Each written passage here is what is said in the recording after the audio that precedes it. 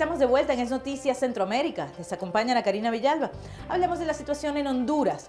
Finalmente, la Organización de Estados Americanos ha aceptado enviar una comisión contra la impunidad y la corrupción a este país. Pero la oposición no está contenta con ello. Esperan que venga una comisión de la Organización de Naciones Unidas. Vamos a ver de inmediato los detalles de cómo se desarrolla esta crisis política. Los sectores de la oposición hondureña no se encuentran contentos del todo en relación a propuesta que entregó el secretario general de la Organización de Estados Americanos, Luis Almagro, en Washington, al presidente Juan Orlando Hernández en el caso del Partido Anticorrupción, asegura que seguirá insistiendo en la instalación de una comisión en contra de la impunidad en Naciones Unidas. En el Congreso de la República presentamos una iniciativa de ley para que sea instalada en Honduras la Comisión Internacional contra la Impunidad, que pensamos es eh, el único medio por el cual se puede resolver la crisis que vive el país. La misión que propone la OEA será supervisada por expertos internacionales en forma independiente del gobierno y tendría que visitar próximamente Honduras. Para el gobierno también es tiempo entonces de evitar el repudio a todo lo que se está haciendo y volverse un tanto más constructivo el sector opositor. Lo importante es que la, oposición sea constructiva, que plantee propuestas alternativas a la cosa pública o también eh, este, por lo menos haya cierto nivel de respeto, porque creo que se ha irrespetado mucho la figura de los dignatarios en el país en los últimos tiempos. Ante la crisis por corrupción que suscitó el levantamiento de una oposición indignada en el país por varios meses, el gobierno hondureño solicitó ayuda a la OEA, que ahora brindaría con una misión de apoyo el mismo combate contra la corrupción y la impunidad un mecanismo alterno a una comisión, pero que aunque no es perfecto según politólogos, es necesario. Pues que no existe ninguna eh, propuesta perfecta, ninguna solución perfecta a los problemas humanos de la sociedad. Sea la CICIG, o sea la propuesta de la OEA, o sea una tercera que pudiera surgir más adelante, todas son perfectibles. ¿Qué quiere decir? Cualquier em, medida para el combate a la corrupción en la marcha puede ser eh, mejorada y perfeccionada. La oposición indignada no ha opinado al respecto y por el momento ha preferido reestructurar su mecanismo de presión en la búsqueda de la lucha contra la corrupción e impunidad en Honduras. Para los politólogos no hay propuesta perfecta en cuanto a solventar crisis que vive el país, sin embargo necesaria para combatir la corrupción e impunidad. Soy Etel Valladares desde Tegucigalpa, Honduras, para CB24 Noticias. En septiembre, 18 personas fueron asesinadas en El Salvador. En total, en los primeros nueve meses del año, la cifra de muertes violentas alcanza casi las 5.000 personas.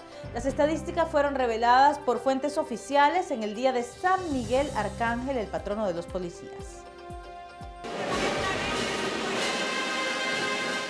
Con devoción, cientos de policías celebran el día de San Miguel Arcángel, su santo patrono y protector en medio de una ola de ataques por parte de las pandillas que han dejado más de 50 policías asesinados en lo que va del 2015. Eh, el, símbolo de San Miguel Arcángel es el símbolo de la lucha del bien contra el mal, eh, de la protección de los eh, más necesitados, de, la aplicación de la justicia y en ese sentido nosotros como policías eh, somos eso. Se trata de uno de los años más violentos de la última década. Desde enero se han cometido 4.893 homicidios. En agosto el promedio diario de asesinatos fue de 22. En septiembre bajó a 18 por día. Esta semana la policía arrestó a 238 miembros de una pandilla que celebraban una fiesta en la localidad de Apopa, al norte de la capital. 98 de los pandilleros tenían órdenes de detención por diferentes delitos. En el operativo también se detuvo a los músicos por hacer apología de las pandillas, lo que está tipificado como terrorismo. Eh, grupo musical del cual se sabe que eh, canta eh, canciones con letras que incitan a la violencia, que glorifican a una organización delincuencial y pues que anima a las personas, al público, a cometer hechos delictivos y a enfrentarse a las autoridades, particularmente a la Policía Nacional Civil. Finalmente, las autoridades dicen que se ha abierto una investigación tras la serie de explosiones ocurridas en el regimiento de caballería, ubicado a unos 25 kilómetros al oeste de la capital. Explosiones que dejaron al menos una decena de heridos. La onda expansiva provocó daños en casas y negocios que están dentro de un radio de 800 metros. En San Salvador, Iván Manzano, CB24 Noticias. Violaciones sexuales, falta de educación y desigualdad de género, las principales causas de que Centroamérica tenga a cuatro países que encabezan las cifras de embarazo adolescente en toda América Latina y el Caribe. De inmediato los detalles de este estudio de UNICEF, el Fondo de Naciones Unidas para la Infancia de la Organización de Naciones Unidas. Una de cada tres jóvenes de Latinoamérica y el Caribe se transforma en madre antes de cumplir los 20 años, lo que convierte a esa región en una de las de mayor fecundidad en el mundo. Así lo reveló un informe del Fondo de Naciones Unidas para la Infancia. Tristemente es la única región del mundo que no evidencia disminución en los embarazos adolescentes, sino por el contrario muestra una tasa eh, eh, al alza. ¿no? Eh, quiere decir que cada vez hay más embarazos en niñas adolescentes. El documento en el que también participó la Fundación Plan muestra que cuatro naciones centroamericanas se ubican entre los países con mayor porcentaje de madres jóvenes, un escenario que afecta a su desarrollo como mujeres. Cuando una niña tiene un, te embaraza de edad temprana, prácticamente su vida cambia completamente.